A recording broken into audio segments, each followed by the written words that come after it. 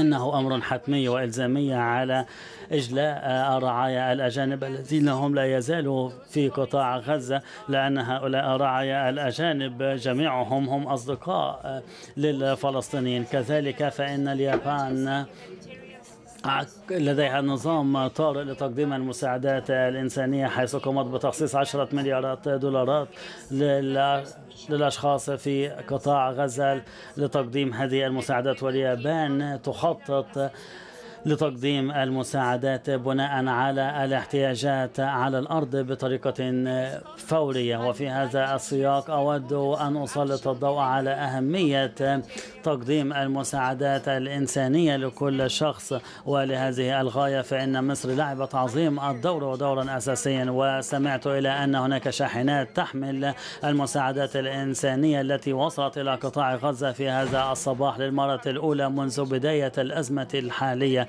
إن اليابان ترحب بهذه المبادرة كتنمية حقيقية على الأرض وهذا سوف يسهم في تحسين الوضع الإنساني على الأرض. وكذلك نسمن جهود من عملوا بجد لفعل هذا.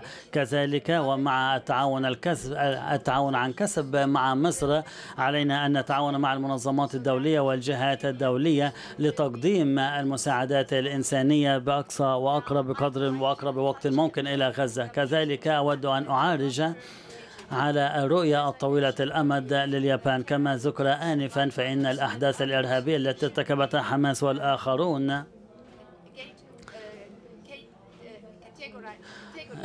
يجب يجب شكبها ونكرانها في الوقت نفسه.